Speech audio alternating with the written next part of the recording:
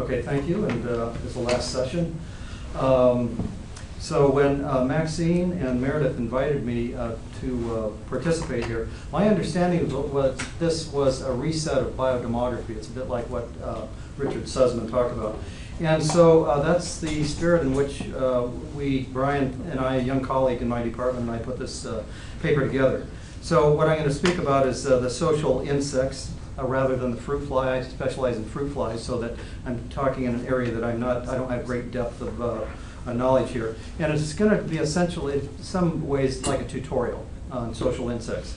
My overall goal is to give you a sense of possibilities of the research using social insects in this uh, sort of new direction of biodemography. And I've organized this into four different parts. First, I'll give an overview of just social insects and longevity and, and so forth. And then, uh, second, uh, the evolution of uh, sociality in wasps. And then thirdly, uh, a bit about the uh, honeybees, overview of honeybee biology, and, uh, and then lastly, some research areas that I see as possibilities here. And I see also, just to set the stage too for possibilities, huge possibilities, because here, I'll, uh, I'll give you a sense of the uh, diversity of species, a gradation from the pre-social to the eusocial and so forth. So there's huge possibilities for research in comparative um, biology and demography and biodemography of uh, social insects. But also there's a deep pool of uh, young uh, talent. I mean, Olav uh, Rueppell right here, Brian Johnson, for example. And these, some of the best and the brightest go into uh, research on social insects, and they're passionate about their work. So uh, there's an untapped pool there that I see as great uh, possibilities. So, and there's Brian Johnson, and new faculty in our department. He studied under Tom Seeley at Cornell. So anyway, here's the social insects. They fall into four categories. Uh, one, the wa- sorry, the ants, wasps, bees, and termites. So I have pictures there at the bottom. There are two percent. uh, Two percent uh, of the two million uh, insect species, but it's basically eighty percent of all insect biomass, and they outweigh the vertebrates by sevenfold. I mean, social insects. I mean, ants. You could run outside here, and I mean, they're. Let's see, what is this? Uh, April. Anyway, they're they're out there. And uh, there's a lot of social insects, uh, we all, we all know that. And basically, it's uh, sophisticated problem solving that resembles voting. And so there's just really interesting questions here. How you have just uh, individuals that uh, end up building these, uh, you know, termite mounds and uh, really sophisticated nests and so forth for bees and uh, ants. And they're adaptively uh, allocated to different tasks. The processes are regulated by interactions, and they're excellent models since uh, parts can, you can individually track these so that, you know, you can't get into ants uh, where you, uh, species where you have tens of thousands of species necessarily, although you can do that some. But uh, you can get, uh, you know, some of these species have uh, fairly small numbers, and you can uh, bring them into the laboratory and really study these at the individual level. Okay, so sociality, just for a little uh, background here. This is basically, there's four different uh, criteria here. Continued care of young. You have cooperative brood care, so it's not just a single individual, uh, a queen or a, a, a mother. A reproductive di- division of labor, and in colonies with at least two adult generations. Okay. Now the different levels of sociality. You have subsocial. You actually even have pre-social. Whoops here. Uh, back up. Okay, I guess I didn't, okay. Subsocial, you have colonial, you have communal, you have cooperative breeding, and then you have eusocial, all right? So here's a uh, paper by Keller and a colleague uh, on, uh, that came out, what, uh, in 97, and uh, give you a perspective on the longevity of social insects relative to uh, solitary insects. And so this is a mean lifespan of 87 solitary insect species uh, from eight orders and 61 species of eusocial insects. So you see lifespan from 0 to 30 in years at the bottom, and this is a number of species there at the top. And so there it is. I mean, uh, this is actually not quite right in my view. At least, maybe, I guess it would be for those 87 they picked. But some of these, uh, you know, non-social species can live beyond a year. But in any case, they're not going to live 25 or 30 years. And then you can see here with these uh, social species, eusocial species, whatever, it's uh, one and two years up to 30 years or so when you get into ant queens uh, that live uh, incredibly long time. So there's an overview um, I put together a number of years ago. It's more schematic than uh, data per se, but it's insect lifespans. And so it goes from the most primitive on the left to the uh, most uh, advanced, at least for the insects, the Hymenoptera on the left there. But anyway, you can see there, there's the Isoptera, and so this is the termites. And so that you have some of the worker termites living uh, weeks to a few months, but then you can get the queen termites that live in these huge mounds deep in the, uh, below the surface uh, subterranean that live uh, so a couple of decades or more.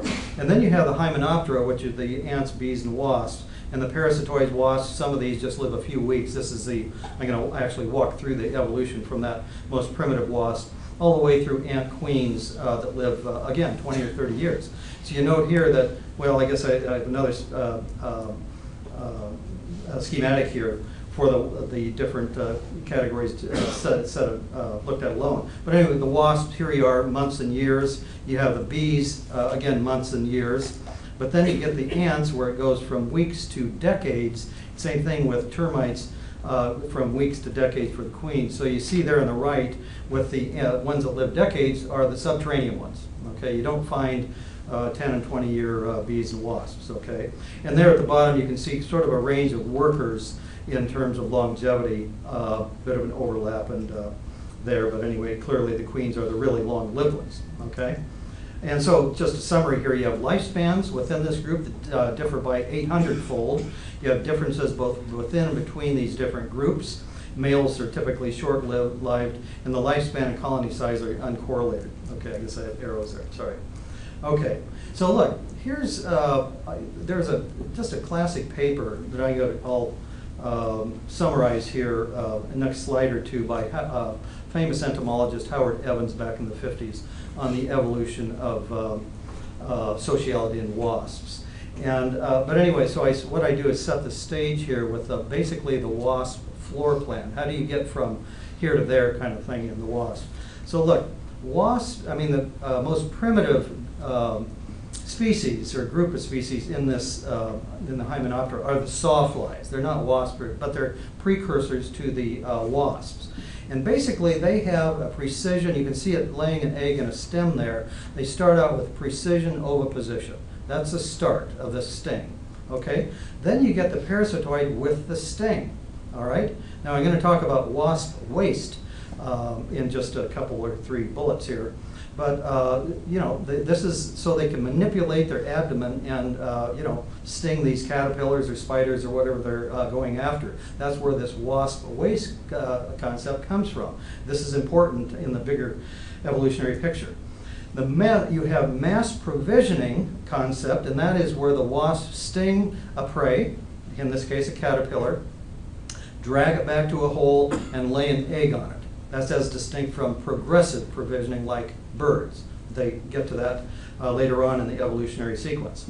And then mandibular mouthparts, you don't think, of, in entomology you think of sucking insects and chewing mouthparts and so forth. But in fact, this is another important concept because they can use their mandibular or chewing mouthparts that were part of the sawfly and so forth to build, uh, you know, pretty sophisticated uh, nests. Then this wasp waist uh, basically uh, restricts the nourishment to liquid. You can't get very much through that little tiny waist, and so it's liquid. And this really pre-adapts them for social evolution because um, uh, because it's liquid, it's exchange of liquids in order to communicate. Okay, so the liquid exchange for within colony evolution, basically. So there it is. That floor plan set the stage for the evolution of uh, eusociality in wasps. Okay. Now, I don't, he, uh, Howard Evans had 13 different stages, and I don't cover all of those here, but just to give you a flavor for sort of the progression here, you start out with these parasitoids that sting a caterpillar or whatever, and they lay an egg um, on it, or I mean, sorry, in it, and so it becomes a living incubator. But unlike that uh, wasp I, I showed you with the caterpillar before, the earliest uh, ones, they simply sting it and then they fly away and find another and sting it. And so that you have a lot of mortality because the caterpillar, uh, that is the incubator, is still out there to be, you know, preyed upon, and the wasp is out there sort of hanging out too, no, no uh, nest or anything. But now the next stage here would be it's just a really primitive nest, so that the wasp would uh, again sting a, a prey, drag it back maybe to a really primitive nest, and again mass provision, just lay the egg on it. But now the mortality conditions change because it's not, not exposed and the mother uh, or the female can uh, hide there and hang out at night. The same thing here. This would be the next stage where again they're mass provisioning, but it's a more sophisticated nest and uh, you know lay their egg on the host and seal it and, and so forth. And then this can get into where you have a single uh, uh, port uh, of entry. And uh, where do we go? The next. Okay, here's the next one where you have the egg, lay the egg before uh, you have any food. So this would be like a paper wasp where you lay the egg in the um, in the cell, and then you go out and get some prey, uh, masticate, and then you regurgitate it or whatever to the developing larvae. So now you're into progressive provisioning. It's like bird feeding. Here would be another kind of variation on this, although it's the next stage where you have a single entry. And then finally, the final stage, when you get into eusociality, where uh, this would be like a yellow jacket or whatnot, where it's really sophisticated nests and again, the progressive provisioning, division of labor, and, and so forth. So that, anyway, that's the progression. So now, here would be a sequence, again, not the, the sort of, uh, you know, grouped into broad categories here. The first one is the emergence of the, of the uh, nest as a locus. So now this is, you know, central, what they call central place foraging, where they all come back to the same place. This is really important for sociality. Uh, and so, uh, anyway, the nest concept's important. Then the emergence of parental care, that's again like the bird feeding uh, with progressive, uh, progressive feeding. And then lastly, the emergence of the queen concept. This emerges before this last stage, of course. But anyway, there's a stage in here when I was reading this early literature where uh, Evans talked about the life of the female as a prolonged overlap with the offspring. And of course, as a uh, you know person who does aging research, this caught my attention. And really, this is uh, the threshold of sociality because you have to have a mother uh, alive at the same time her daughters are emerging. Where you have the mass provisioning in earlier stages, the mother, you know, the egg, seals the hole, and flies away, and probably dies before the, I mean, dies before the uh, offspring emerge. But here, you have the mother alive with the offspring. Now you have incipient uh, sociality, and now you're uh, off to the races, you know. So anyway, one of the carry-away messages here is that longevity was a precondition, uh, you know, extent to longevity, a precondition for the evolution of sociality. So now that set the stage. So what you have is extended longevity is a precondition for the evolution of incipient sociality. But sociality, in turn, creates conditions for the evolution of further extensions in longevity.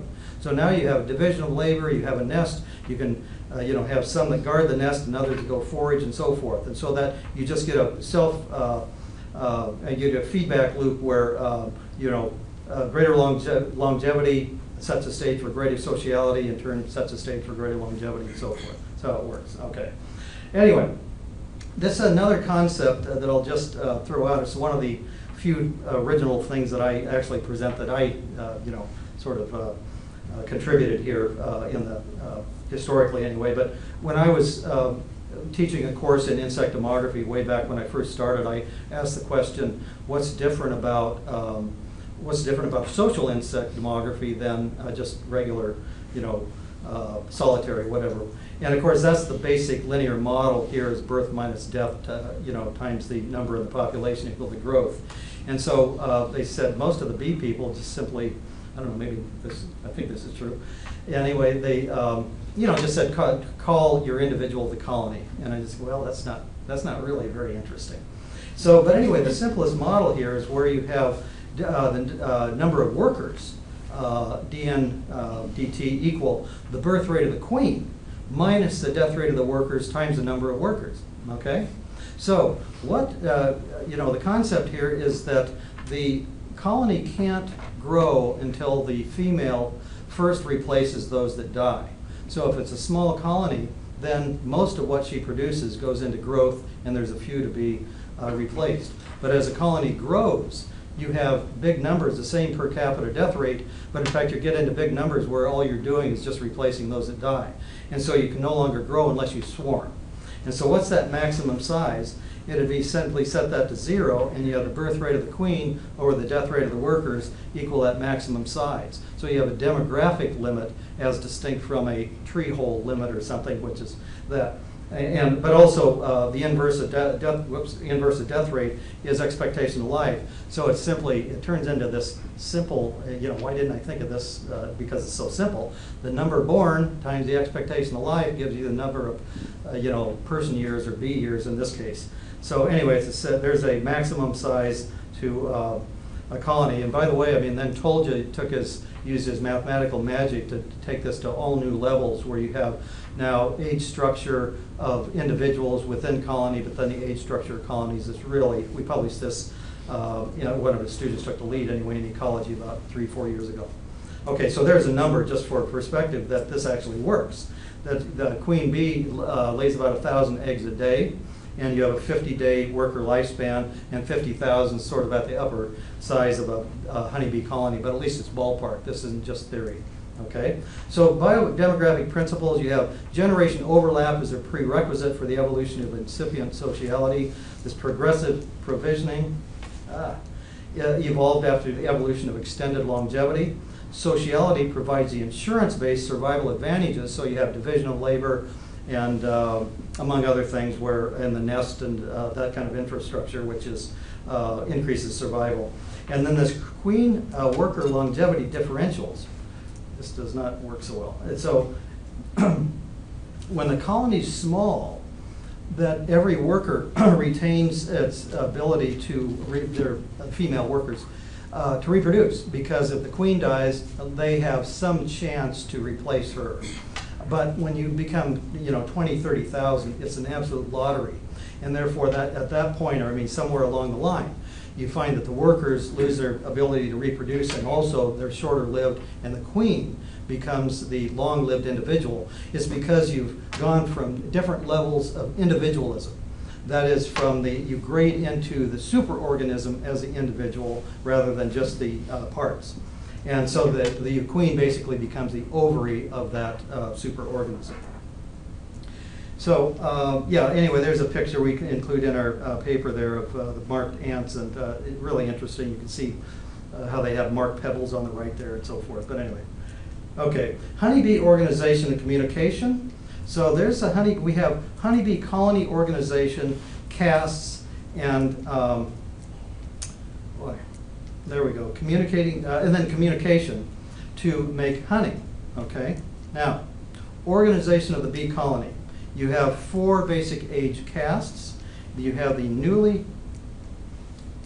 newly emerged, you have the nurses, you have the middle-aged bees, and you have the foragers. So this is a little tutorial on honeybee biology here. so what is a temporal caste? You have different ages, specialize at different castes. The physiology strongly changes to, uh, to specialize the bees for their castes, and the bees go through uh, uh, puberty. I don't know if that's used much in bee biology, but anyway, that's what uh, Brian used.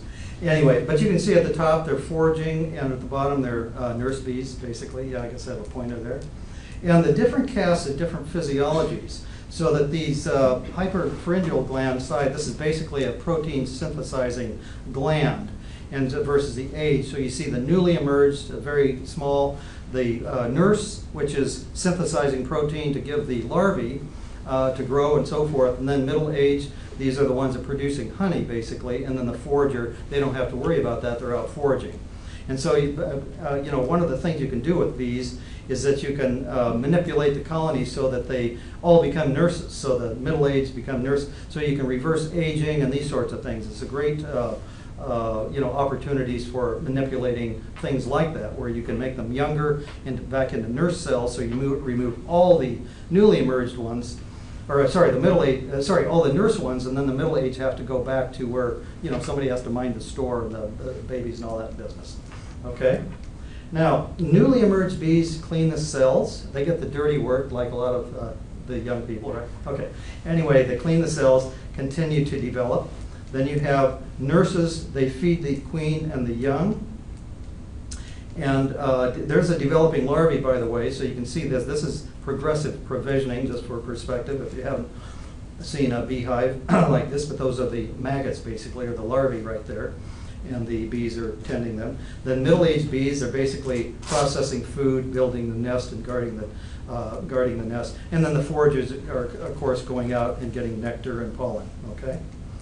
And uh, how do the castes all work together? That's a big, uh, that's, these are deep quest on uh, this material right here. Is that uh, for, well, there's a big part of the paper that Brian uh, put together, that's more, certainly a specialty here, is where you have social insects as models.